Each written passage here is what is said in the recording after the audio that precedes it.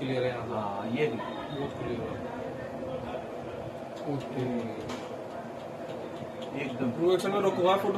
ताज़ा खबरों के लिए सब्सक्राइब करें जेएसआर टाइम्स और साथ ही नोटिफिकेशन पाने के लिए बेल आइकन को दबाएँ।